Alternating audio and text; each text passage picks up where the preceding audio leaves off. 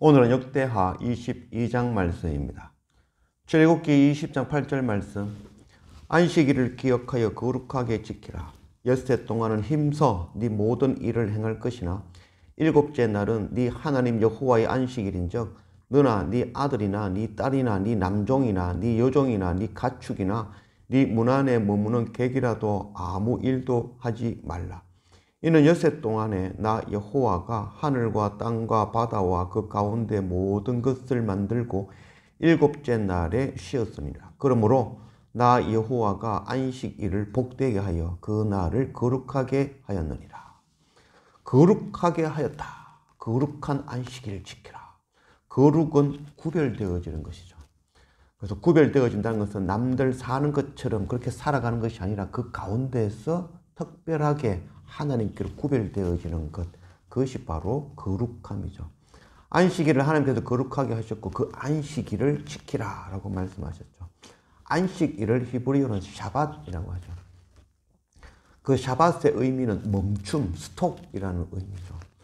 그래서 안식일은 마냥 놀고 즐기고 편안히 쉬는 것을 의미하는 것이 아니라 6일 동안 세상 가운데서 세상의 방법으로 세상과 함께 뒹굴며 정신없이 살아가는 그 삶 가운데서 샤밧 하라는 것이죠. 멈추라는 것이죠. 하루만은 멈춰서 하나님께 돌아오라는 것이죠.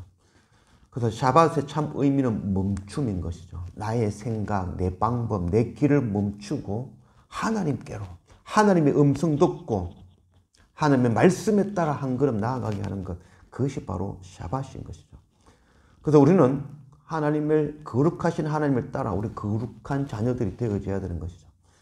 그래서 7일 가운데에 6일은 마음대로 살다가 7일째만 하나님께로 돌이키는 샤밧 하는 그런 자들이 아니라 우리는 날마다 때마다 샤밧으로 나아가는 그런 우리가 되어져야 될 것입니다. 내 생각, 내 방법, 내 심장의 소리를 듣는 것이 아니라 나의 길을 멈추고 하나님께로 하나님의 음성 들으며 하나님께로 돌이킬 줄 아는 날마다 샤밧이 우리 안에 일어나는 그런 우리 모두 되어지기를 원합니다. 오늘 역대하 22장 1절 말씀 예루살렘 주민이 여호람의 막내 아들 아시아에게 왕위를 계승하게 하였으니 이는 전에 아라비아 사람들과 함께 와서 진을 치던 부대가 그의 모든 형들을 죽였습니다. 그러므로 유다 왕 여호람의 아들 아시아가 왕이 되었더라.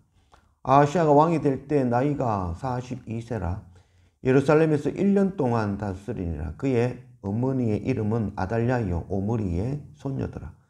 아시아도 아합의 집 길을 행하였으니 이는 그의 어머니가 꿰어 악을 행하게 하였습니다. 그의 아버지가 죽은 후에 그가 패망하게 하는 아합의 집의 가르침을 따라 여호와 보시기에 아합의 집같이 악을 행하였더라. 유다의 네 번째 왕 어, 여호사밧 왕은 참 선한 왕이라 할 수 있겠죠.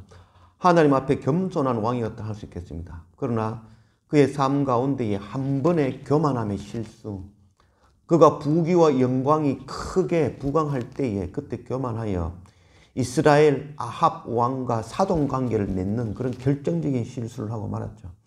자신의 아들 여호람과 이 아합 왕의 딸 아달랴를 혼인시키는 그런 일을 저지르고 말았죠.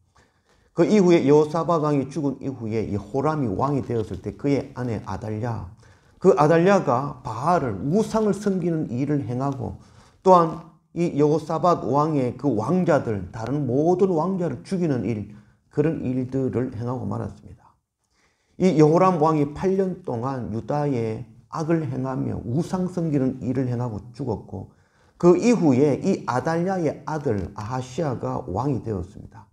여전히 아달랴가 자기 아들 아하시아와 함께 이 아합의 길을 따라 우상 섬기는 일, 하나님을 미워하는 일을 끊임없이 행하였던 것이죠. 그 아시아 동안 이스라엘 왕과 연합하여 요람과 연합하여 이 전쟁 가운데 나아가서 그도 결국 예후에 의해서 이스라엘 왕에 의해서 아합 가문이 멸망할 때에 이 아시아 왕도 함께 죽임을 당하고 말았던 것입니다. 1년 동안 유다의 왕이 되나 40년간 유다의 왕이 되나 그의 삶이 하나님 보시기에 악을 행한 삶이었던 것이죠. 한 번의 실수, 교만함의 결과가 이런 참혹한 일을 만들어내고 마는 것이죠. 우리가 날마다 말씀과 예배를 통하여 날마다 하나님 앞에 나아가 나를 멈추고 날마다 하나님께 엎드릴 줄 아는 그런 우리가 되어지기를 원합니다.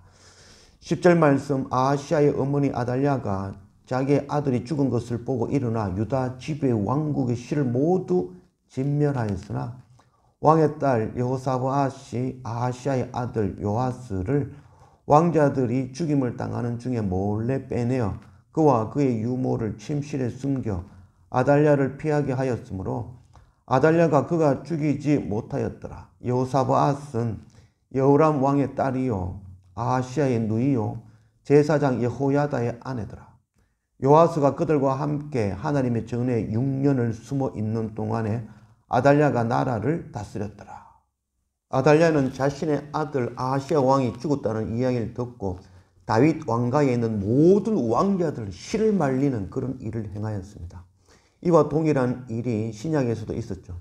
베들레헴에 예수님께서 나신 이후에 헤롯이 베들레헴에 있는 모든 아동을 학살하는 그런 일을 행하였던 것이죠. 바로 악한 사탄의 행위인 것이죠. 하나님의 언약을 끊어버리기 위한 그런 행위인 것이죠. 그런 가운데 하나님께서는 그 언약을 이루시기 위하여 긍휼과 사랑으로 보살피시는 것이죠. 그 말씀이 역대하 2장 21장 7절 말씀에 어제 말씀에 나왔죠. 여호와께서 다윗의 집을 멸하기를 즐겨하지 아니하셨음은 이전에 다윗과 더불어 언약을 세우시고 또 다윗과 그의 자손에게 항상 등불을 주겠다고 말씀하셨습니다. 하나님의 일은 하나님께서 행하시는 것이죠. 성교는 성교사가 하는 것이 아니라 하나님께서 행하시는 것이죠. 우리는 그 하나님께서 행하시는 일 가운데에 쓰임을 받는 자들이죠. 아, 하나님께서 다윗 왕가에 약속하신 그 언약을 그 언약을 이루어 가시는 것이죠. 그 가운데 오늘 여호사브앗 바로 여호람 왕의 딸 아시아 왕의 누이 그가 바로 이 아시아 왕의 그 왕송 가운데 왕자 한 명 요아스를 숨기는 그런 일들이 일어나는 것이죠. 아, 그 요아스 왕은 아마 이 난지 8일이 되어지면은 성전에 할례를 행하고 그 족보에 이름을 올리게 되어져 있죠. 아마 난지 8일도 채 되지 않은 그런 요아스 왕을 숨겨 그를 또한 6년 동안 성전에서 양육되어질 수 있도록 인도한 것이죠. 바로 이 여호사부앗은 바로 여호람 왕의 딸이고 아시아의 누이며 바로 대제사장 여호야다의 아내였던 것입니다. 그 한 사람을 통하여 또다시 하나님의 역사를 이어가는 것이죠. 아, 이런 엄청난 일들이 일어난 것은 바로 여호사밧 왕의 한 번의 그 교만함, 그 악함을 통하여서 결국 이런 일까지 일어나고 말았던 것이죠. 우리가 날마다 우리 안에 샤밧이 일어나기를 원합니다. 날마다 겸손하게 엎드리며 나를 멈추는 일, 세상으로 나아가는 그 생각들, 그 길들 멈추고 날마다 샤밧하여 하나님께 돌이키는 하나님께 엎드리는 그런 날마다의 그런 일들이 일어나기를 원합니다.